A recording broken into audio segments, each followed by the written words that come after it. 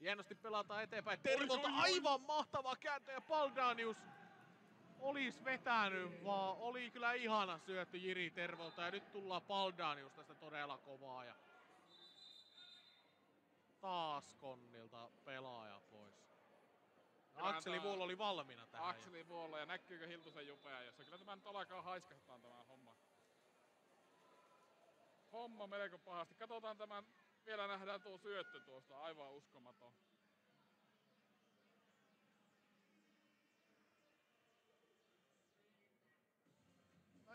No taas vähän tommonen tilanne, vähän ehkä vaarattoman näköinen tilanne, mutta huonosti kävi.